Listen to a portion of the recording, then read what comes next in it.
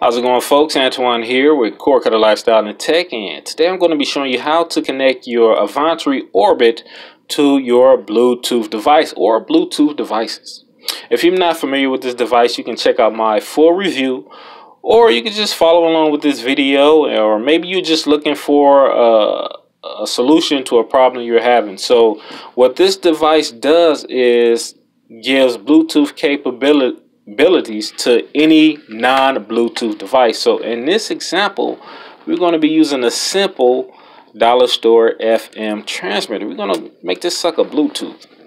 All right, so the first thing you want to do is connect your Bluetooth devices. As you can see, let me go ahead and turn the light on to see if we get a good angle on that. So I already have my two Bluetooth devices set up. You see those are the ones with the headphone icon next to them. But if you do not have anything connected at the moment, just press the search button right there on the left side.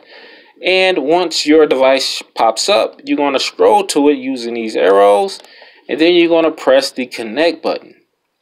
And also what this does is you see my headphone icon. If I select on it again, is that slash through means it's not commute is not connected or it is muted because you can simultaneously stream from two separate Bluetooth devices at once on this device. All right, so we're going to turn that back on.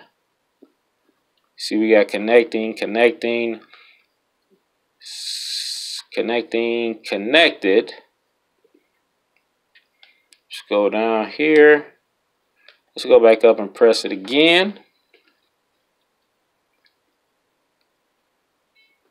All right, so I got the beep of approval. So we're going to be using my JBL headphones right here and my 3.5 millimeter audio jack. Now, this comes with it.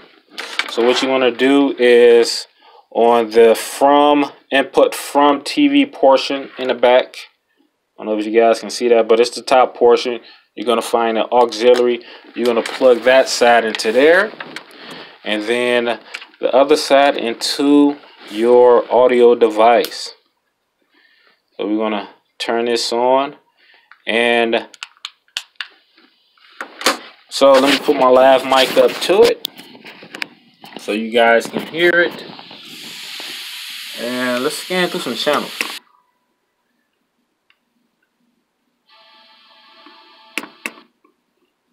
Rate and reduce your monthly payments or cut the term of your mortgage. Your kid's always leaving tiny toys.